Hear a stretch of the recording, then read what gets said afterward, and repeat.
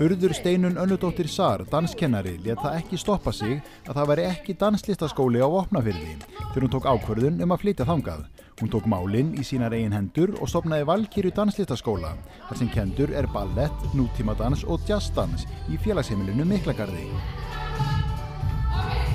Mér finnst rosalega gaman að kenna dans og mér finnst gaman að kenna dans uh, fyrir einhvern sem hefur áhuga á því að læra og hefur áhuga á því að bara ná framförum í dansi.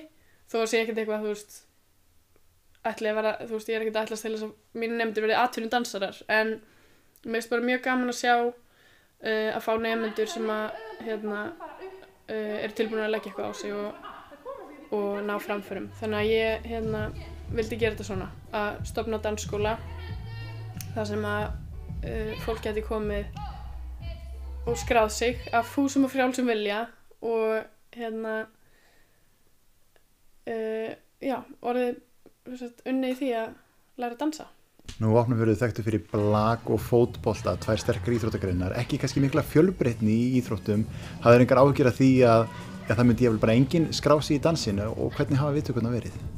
Jú, ég náttúrulega vissi bara ekkert hvernig, hvernig móttökurnar erðu sko og ég var á tímabili bara hrætt um að það myndi bara enginn skrá sig. Og uh, og svo var fólk líka svolítið seint að skrá sig þannig að flestu skráningarna komu inn bara þú veist, seinustu vikuna eða nokkru dagana að við byrjum og þannig ég var bara orðin ógeðslega hrætt um að það væri enginn að vera að skrá sig.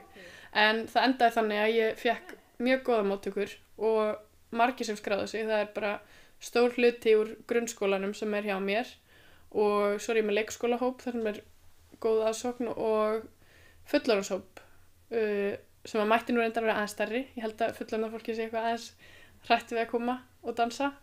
En já, það er búið að vera mjög góðar móttökur. Urður kennir listans í skólanum sem er grein sem hefur vaksið mikið í vinsaldum á Íslandi síðustu ár.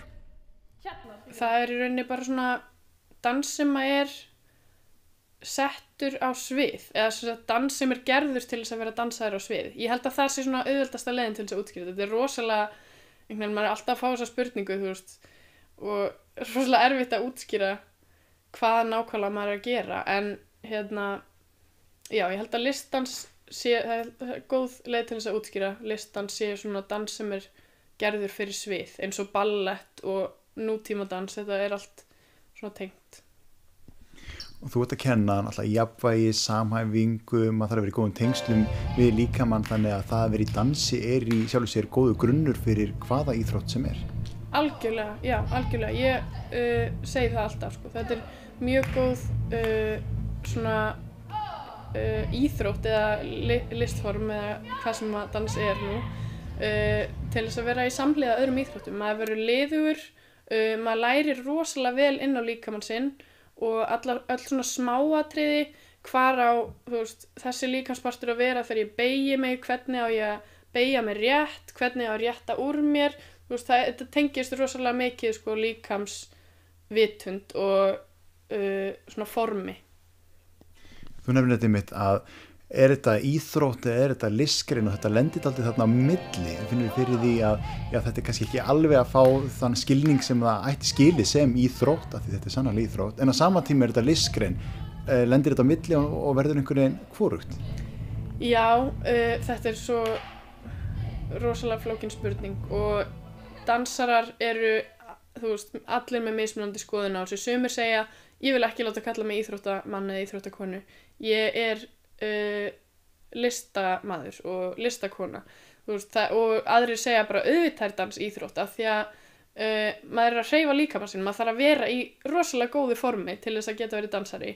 Uh, það snýst um veist, þetta er listform og íþrótt sem að veist, maður notar líkamann. Það eina tólið í þessu er líkamann um, þannig já, þetta er mjög svona uh, flókin spurning sem að uh, maður veit ekkert hvað svarið er við endilega En þetta að kenna, þú ert að kenna alveg frá leikskóla upp í fullorna, það hlýtur að vera, já, það er alltaf fjölbreyttir tímandir hjá þér, þessi þrý hópar. Já, það er mjög fjölbreytti tímar. Ég er nú reynda líka, uh, ég glemdi hérna að segja, ég er með eldri borgara líka. Uh, en það er reyndar ekki tengslum beint við skólan, heldur er hérna uh, sveitafélagi bæði mig um að gera það.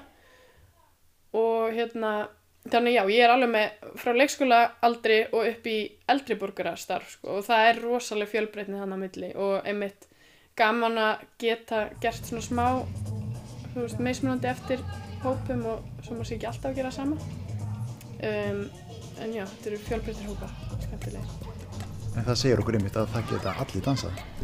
já, það er alveg rétt hjá þér